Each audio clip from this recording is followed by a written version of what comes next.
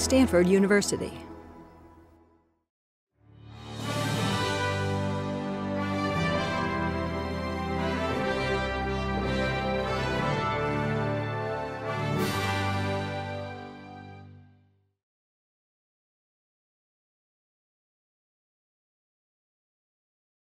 Charlie, you've often complained that accountants are the root of much evil and also of even more folly.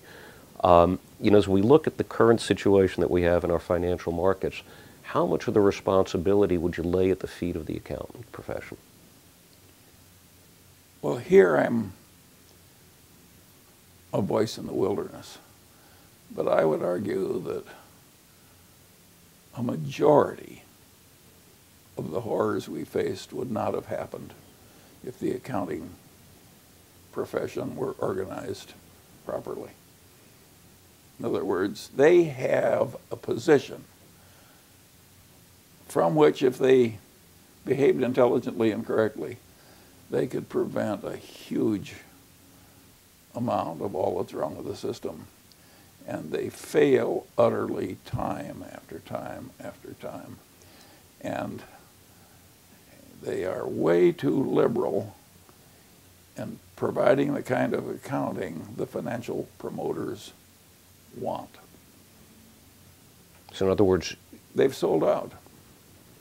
And they do not even realize that they've sold out, which, of course, is a common human psychological phenomenon.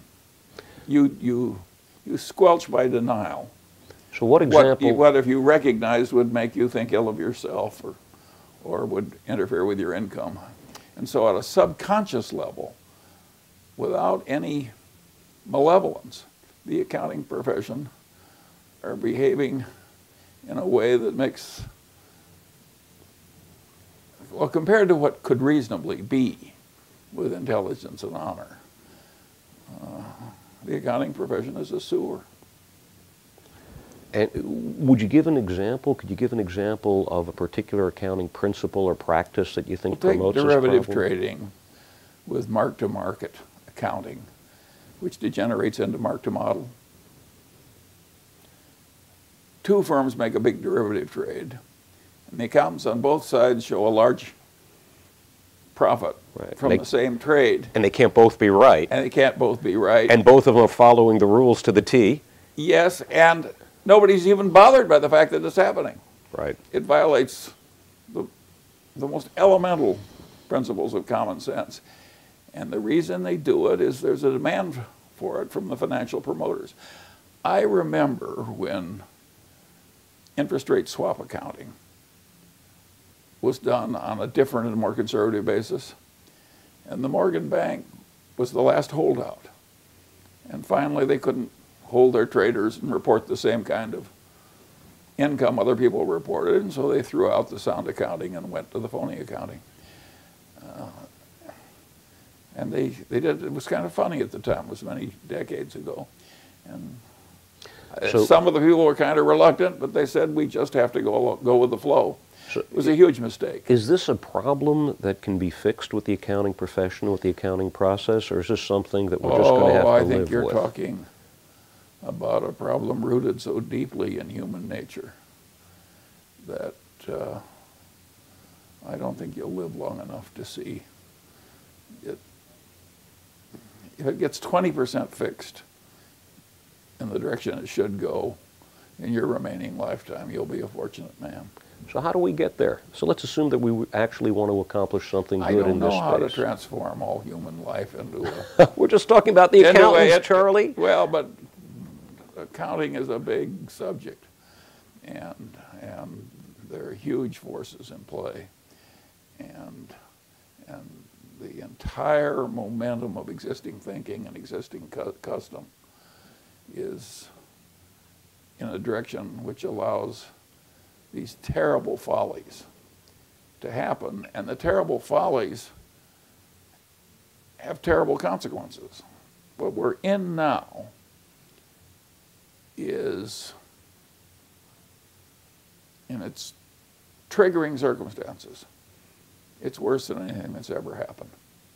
Worse than the Great Depression. Yeah, it's not. No, we're not. the economy hasn't contracted as much as the Great Depression, mm-hmm.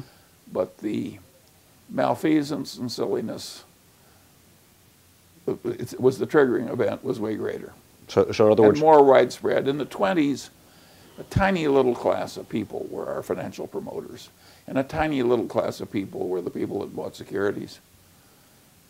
This now is deep into the whole culture, it's, and it- it was way more extreme. So, if sin and folly get punished, we're in for a hell of a punishment.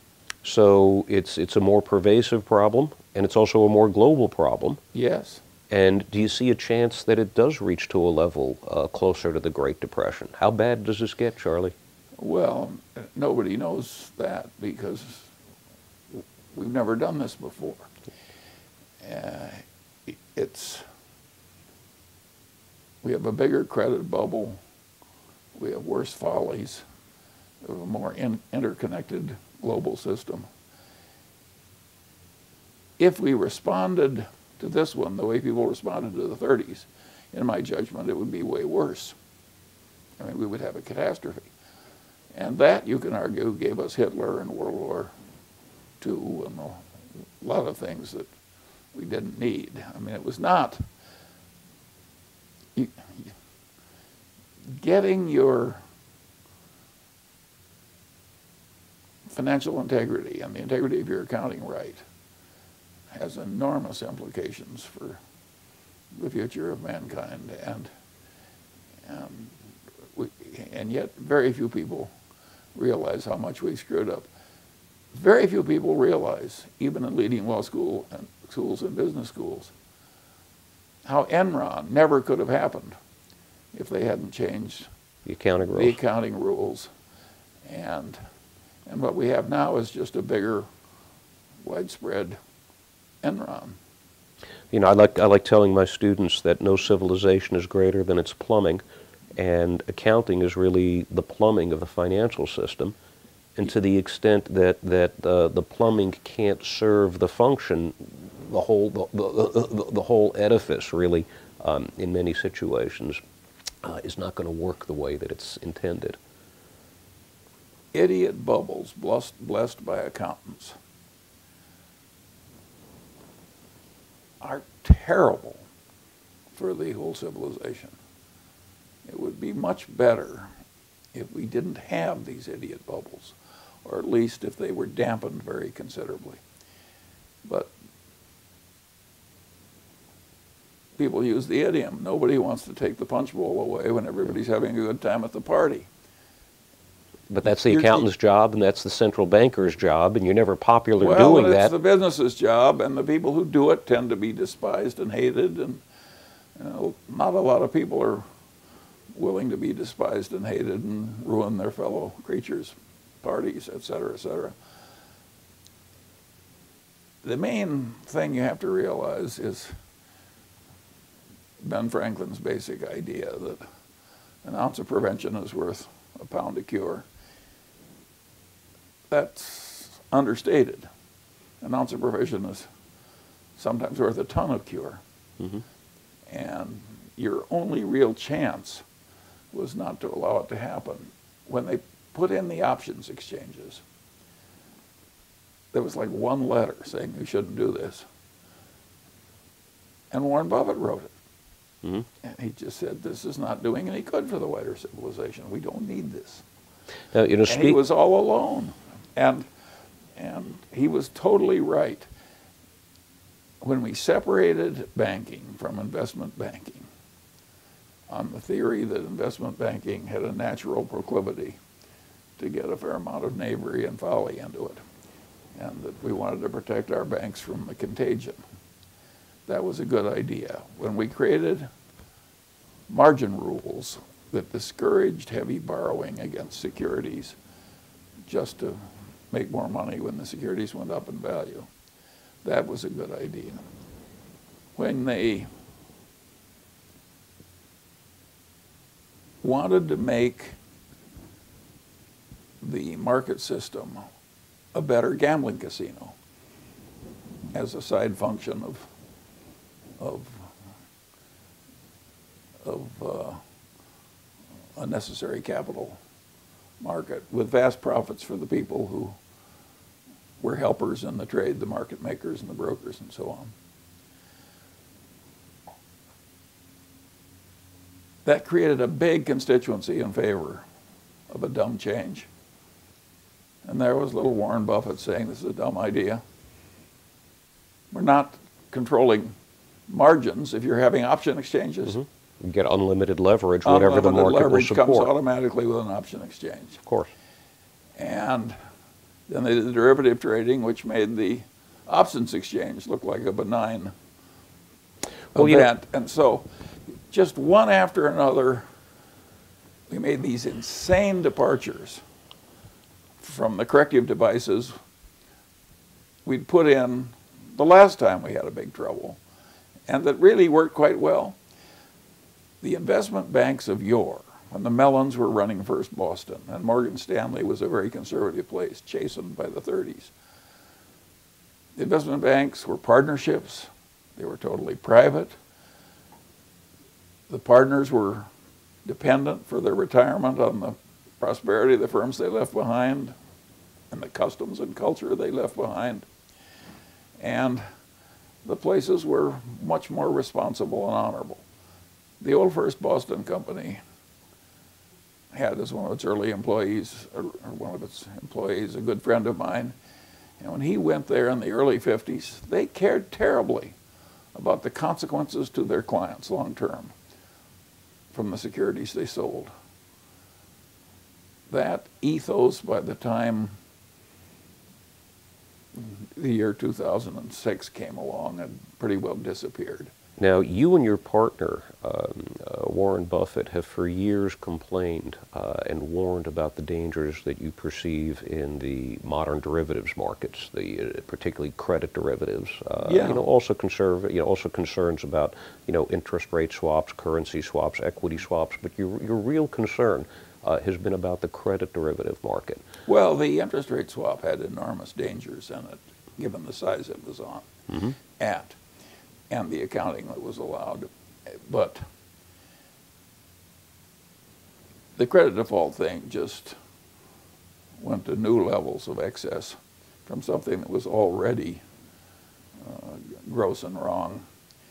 And uh, what happened there was rather interesting. In the 20s, we had the bucket shop. Right. And the bucket shop was a term of derision because these people ran a gambling parlor. They didn't buy any securities. Mhm. They just enabled people to make bets against the house, and the house furnished little statements of how the bets went out. It was like the off-track betting. Right. Until system. until the house lost its money and all of a sudden disappeared. Yes. Or the house made its money and all of a sudden disappeared. Either That way. right. But the bucket shop was regarded, in retrospect, at the end of the 20s, as a criminal enterprise, counterproductive to the nation. Derivatives trading, with no central clearing, brought back the bucket shop. But tell me, because you could make bets without having any interest in the basic security.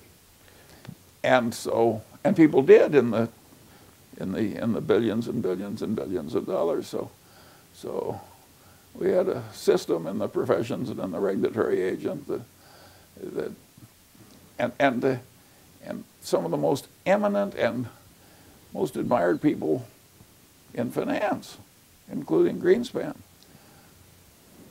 argued that derivatives trading in the form of the old bucket shop was a great contribution to modern economic civilization. Now the Federal Reserve is There's working. one word for this. It's insane. The problem that you're talking about now, Charlie, is really much bigger than just uh, GMAC or will the government step in at General Electric. Have a look at the balance sheet of the Federal Reserve. It has ballooned. The Federal Reserve is today buying assets, and I think they're probably doing what's absolutely necessary in order to keep liquidity flowing in the short term. But they're buying assets today that they wouldn't even have considered looking at a year ago There are over $800 billion of this stuff sitting in the Federal Reserve balance sheet right now, and that number, in my view, is much more likely to double or, or to approach $2 trillion uh, within the next 18 months than any other number that you're likely to see. Well, I think the problem is so extreme that nothing unextreme has any chance of fixing it.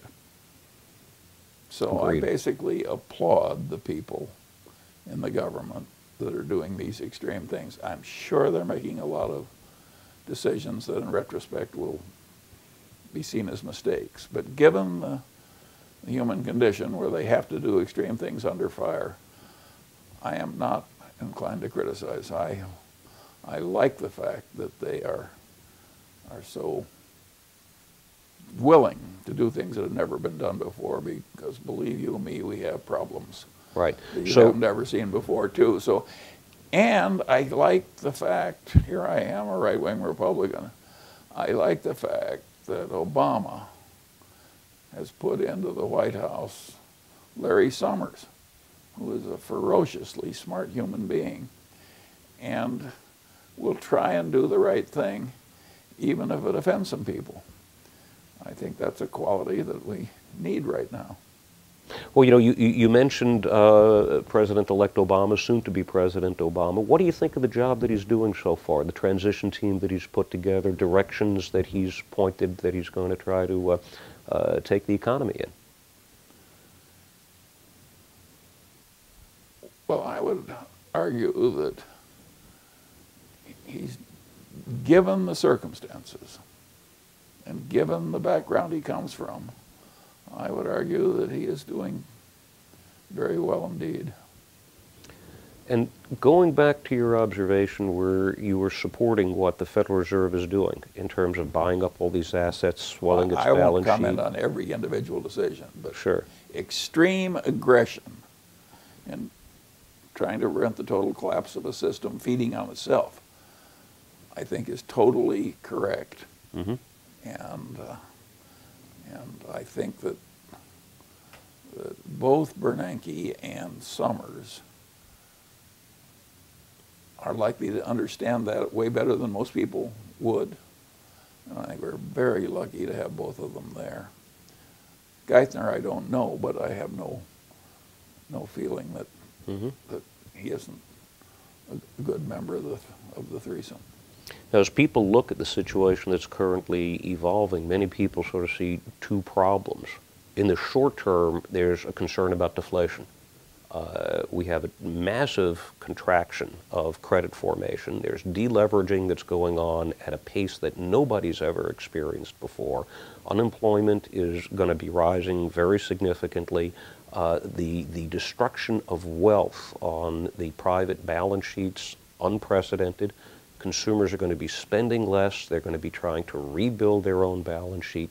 Um, and clearly, this is a situation where the government has got to come in strong and the government has got to come in heavy.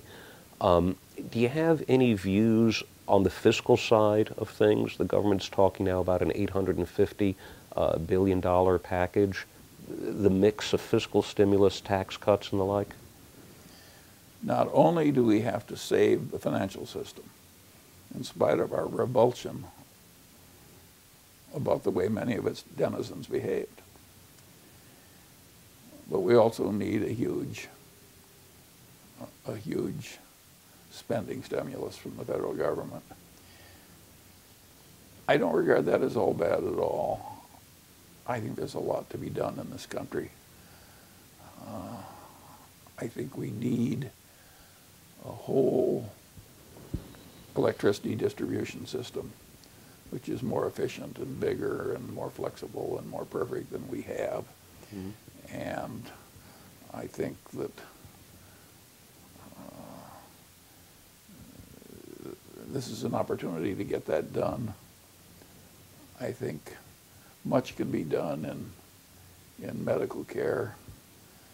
And I think the hospitals of the country are probably about to get uh, a vast improvement in their facilities, and I think that's all to the good. We have a whole lot of things that are worth doing. Uh, Obama is not talking about scooping up people and having them stand around holding shovels in the middle of some forest. I mean, he is talking about fixing infrastructure and so on. Uh, here in the city of Los Angeles, where I live, the streets are a disgrace compared to the streets of Japan. Mhm. Japan had so much fiscal stimul- stimulus you can't find a pothole on the side of a mountain in Japan. But you can Where- find, but you can find lots of airports that nobody uses out in rural Japan. That may be, but at least they fixed all the streets Yeah. and, and the trains and everything else. So uh, I welcome a fiscal stimulus that will, will, will Now, improve a lot of things. But, but as part of the government's response, the government in the United States and governments worldwide are printing money de facto at a rate that is absolutely unprecedented. And if, you know, we know traditionally that if you increase the supply of something, its price is going to go down. Short term, everybody's really worried about deflation. we would have been much better if we hadn't worked ourselves into this position where we have to do this. And you are right to point out that there are dangers from what we have to do. But the dangers from what we have to do are less than the dangers that would plainly come if we responded as we did to the 30s. In an ideal world of classical economics, you can say just let everybody suffer and then let it work back itself from a low level. We can't do that with a modern voting democracy. We're hooked for exactly what is happening, and so are the other advanced nations. And sure, there are dangers, and we may get some inflation, but uh, but the kind of economic misery that gave us the rise of Adolf Hitler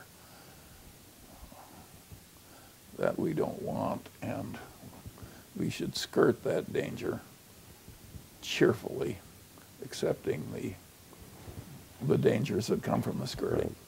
So you see the situation as being one where we're trying to manage the lesser of, of, of two evils, or the least of many evils, as a practical matter. And you know what I'm hearing from you, Charlie, is is that so far so good. It, it appears that the government is on a reasonable track. It is very reasonable to react with the extreme vigor that's been shown. In fact, I would argue in retrospect that the vigor wasn't quite enough. I would agree with you. I would argue that it was pluperfect obvious they had to save all these banks and the major investment banks. So on a too. scale, so a scale of one to ten, how big a mistake was it that they let Lehman go?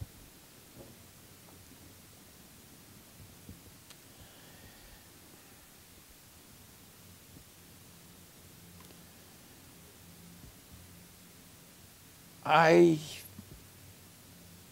don't think that was a mistake. Interesting. I think it actually helps to have one or two go. I think you need some examples in a big mess, and and and you, you, But you just save everybody, Right. no matter how awful they were. Mhm. Uh, that would have created just unlimited revulsion in the body politic. So I think, I think the people had to decide that some people were going to be saved and some people weren't. And I think it was correct that they decided they'd have two categories, mm-hmm. the saved and the unsaved. And Right. I'm not going to quarrel with their decisions. Interesting. I probably would have let Lehman go too. Interesting. E- even though the market seized up very dramatically afterwards, and we had some of the most difficult short-term financial consequences of that failure. Well, we needed a total correction. Mhm. A system that was evil and stupid. We didn't need all our bright engineers going into derivative trading and hedge funds and so on and so on. We had the civilization totally out of control. Well, they're not going there in the future. And we were not going to get out of that without a lot of mess and contraction. And the mess and contraction was going to cause some operations to perish. I knew Arthur Andersen partners who were honest, decent people and who suffered terribly.